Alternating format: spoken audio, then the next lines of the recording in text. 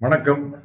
குடும்ப வன்முறையை ஒழிப்போம் சமத்துவம் படைப்போம் என்ற முழக்கத்தோடு மார்க்சிஸ்ட் கம்யூனிஸ்ட் கட்சி பத்தொன்பதாம் தேதி சென்னை ராஜா அண்ணாமலை மன்றத்தில் ஆறு மணிக்கு ஒரு சிறப்பு மாநாடு நடத்த இருக்காங்க இந்த காலகட்டத்தில் இது மிகவும் அவசியமான மாநாடு என்பது அந்த மாநாட்டின் சிறப்பு.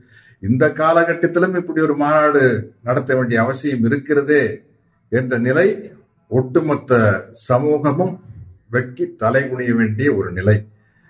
இதுல என்ன கருத்துக்களை முன்னெடுக்கிறாங்க அப்படிங்கிறத தோழர்கள் எனக்கு அனுப்பிச்சிருந்தாங்க.